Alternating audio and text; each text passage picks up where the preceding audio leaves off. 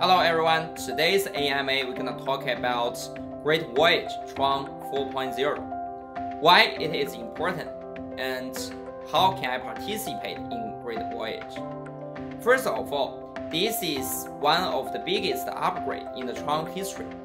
Tron 4.0. We will introduce four features into the Tron ecosystem. One is the privacy feature for TRC20 tokens. All the developers can select the privacy features into the token they developed. Second is about PBFT mechanism.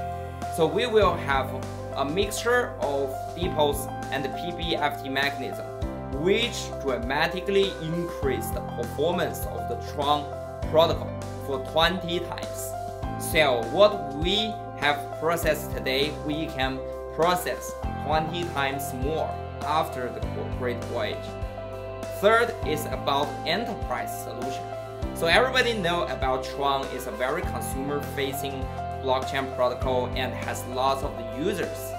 After Great Voyage, we will have lots of enterprise. They can also work their solution and their product on Tron platform. It's gonna be very, very friendly to every enterprise. And the fourth is about cross-chain communication.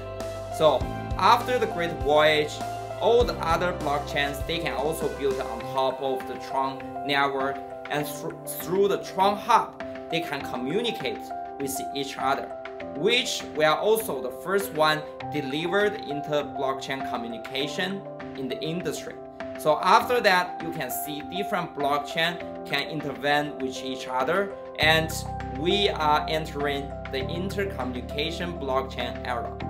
So if you want to know more about Great Voyage and the Tron 4.0, please follow me on Instagram and Twitter. And also if you have any questions, please leave the question below and we will hold this AMA next time.